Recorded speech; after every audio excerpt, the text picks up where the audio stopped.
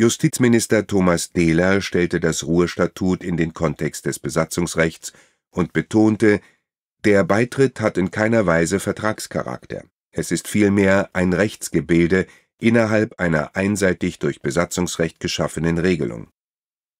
In diesen Rahmen sollte sich die Bundesregierung selbstverständlich entsprechend einbringen.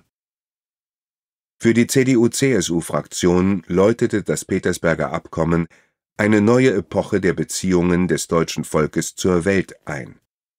Auf Zwischenrufe von links, dass es sich bei dem Petersberger Abkommen um ein Ermächtigungsgesetz handele, erwiderte Kurt Georg Kiesinger (CDU), dass es dann nicht diese offene Plenardebatte hätte geben können.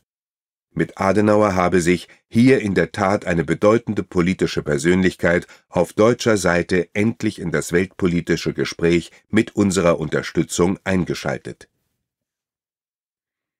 “Im Verlauf der Debatte ergriff Adenauer wieder das Wort und bezichtigte die SPD, sie sei bereit, „ die ganze Demontage bis zu Ende gehen zu lassen “. Die SPD-Fraktion empörte sich als Adenauer dann auch noch aus einem Telegramm des Deutschen Gewerkschaftsbundes (DGB) zitierte, in dem dieser die deutsche Mitarbeit in der Ruhrbehörde für „ richtig “hielt, war die Bestürzung vor allem unter den SPD-Abgeordneten überwältigend, und es entstand erneut tumultartige Unruhe im Plenarsaal.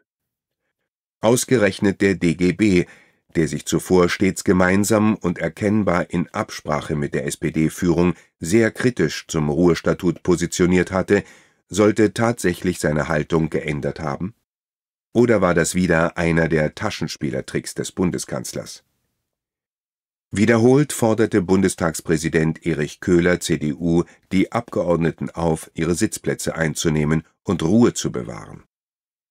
Adenauer erläuterte dass der Bundestag über die Ruhrbehörde gar nicht zu entscheiden habe, da es diese längst gebe.